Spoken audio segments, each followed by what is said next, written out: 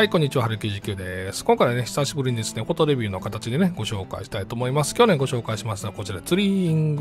グですね。まあね、ペガサスピードのですね、まあ、カードゲームになっていまして、基本的なね、情報としましては、2人から5人用でソロ負荷、10分から20分の計量というね、非常に軽妙な形のこれ、カードゲームという風になっていまして、システム的にはですね、ドラフトとセットコレクションというね、まあ、よくある話のゲームになってましたね。で、これね、今日ご紹介しまうと思いましたのが、私はこれ、フォトレビューのなので、私自身持っていないんですけども、やらせてもらうとですね、非常に軽妙な感じでですね、なかなかうまくできてるなという形に思ったんですね。でどんなゲームかなというふうに申しますと、まあ、こんな形になっていまして、えー、それぞれですね、まあ、カードをですね、まあ、青とか黄色とかですね、まあ、黒色とか赤色とかでね、まあ、こういう色がついてるやつが、まあ、それぞれの種類になってまして、まあ、これを手元の方に集めてくる、まあ、いわゆるセットコレクションですよね、まあ、これによって点数を取りましょうという形になってるんですけども基本的なプレイのシーケンスとしましてはこの中央のところですね、まあ、ここのところにバフ札が出てくるので、まあ、ここからカードを取って手元の方に並べていく。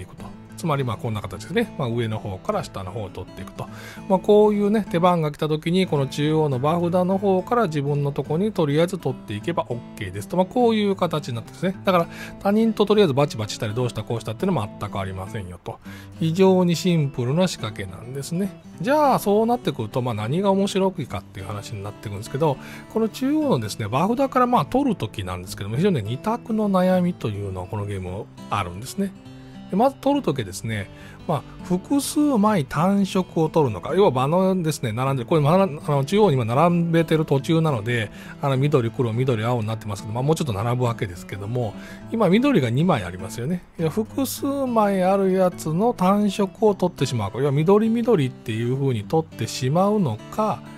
各1枚複色ですよね。1枚ずつある複数の色のやつを全部ガバッと取るか。まあ、ここちょっとオプションルールがありますけど、まあ、基本的には複数枚のやつを全部取る。1枚ずつ全部取っちゃうかと。これをどちらかしてくださいよと、こういう悩みなんですね。要は、1色でいっぱいあるやつを取るか、1枚ずつの複数色を取るかと、こういうことなんですね。いやまあまあ悩まなくても取っていけば、まあ、こんな風になっていくとね、だんだんだんだんこうね、自分のとこでかくなってきますよね。で、こうなってくると。で、これがなんでですね、面白く効いてるかというと、最終的にこれまあ山札の方がね、枯渇したりなんかしてたら、まあゲーム終了になっていくわけですが、ここのところ最終的ないわゆる得点のとこですね得点のところに最後悩みが効いてくるのでさっきの2択の悩みが効いてくるんですが得点はですね、自分のところのセットコレクションのこうね、各列ごとですね、こう色ごとのところで生産していきますよ。つまり、この場から取った時は必ず色ごとに並べておくんですね。で、新しい新色を取った時には、すでにあるやつを左右にね、くっつけて並べるように置くと。途中並べ替えもできませんので、まあ、どんどんどんどん増やしていきますよと。で、まあ、規定のね、色数がね、限りがあります。それだけね、横に広がると、今度は上に広がるしかないという形になっていくんですが、得点は必ずこの色ごとにしますよと。まあそれはそうだろうという話だと思うんですけどここで最後によく聞いてくるのはこれなんですよね。左右に自分より高い列があると0点なんですよその列ね。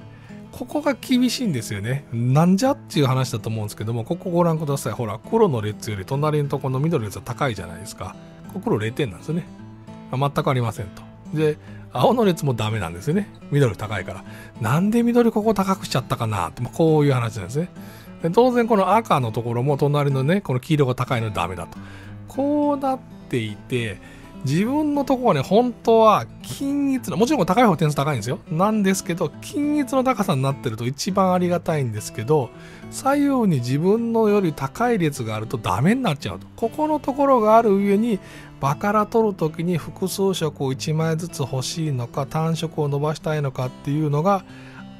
あとどんな形に自分がなるんだっていうのが取る時のさっきの2択の悩みがすごい効いてくるんですよね。でかつこれ左右って言ってるので隣のプレイヤーも影響してくるわけですよね。これ私ねこの自分が座ってるところは取ってるわけですけど要はこの矢印が出てる自分のこの右側とか左側にも隣のプレイヤーいるわけですよね。なのでその隣のプレイヤーのところにも一番端っこの列があるはずなのでそことの高さ比べもしなくちゃいけない。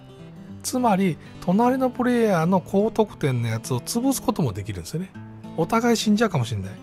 どっちだろうっていうね。どっちがどっちを攻撃すんねんっていうところもあったりして、ほっとけば相手に絶対点数になっちゃいますからね。こういう非常にこのバフだから取るしかないなんていうインタラクションになってすごく弱いんじゃないかなと思っていたらこの左右のところから隣のプレイヤーも影響してくると。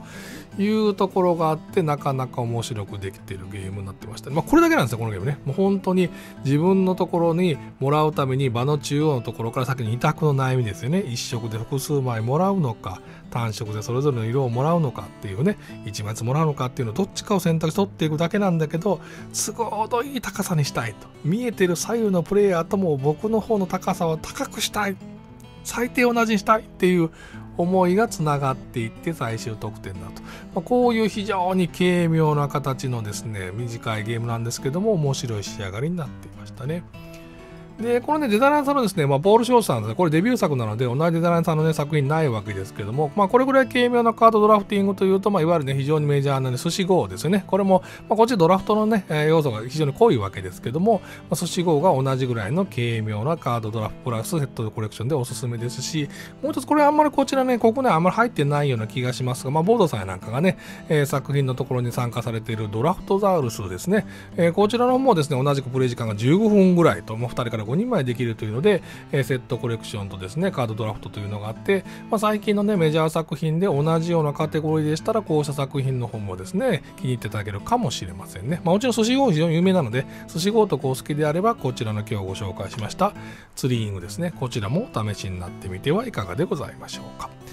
はい、というわけでね、今回ね、ショートレビューなんですけどね、えー、フォトレビューの形の方ですね、ちょっと私がね、最近プレイさせてもらってお気に入りだったツリーイングをね、ご紹介いたしました。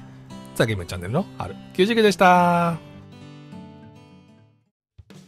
はい、動画をご覧いただきましてありがとうございました。ザ・ゲームガイチャンネルですね、ボードゲームの専門チャンネルになっておりまして、様々なボードゲームのレビューとかですね、プレイレポートなどをお届けしております。もしですね、このチャンネルをお気に入っていただけましたらですね、チャンネル登録とかですね、個別の動画へのいいねボタンをよろしくお願いします。ザ・ゲームガイチャンネルの春99でした。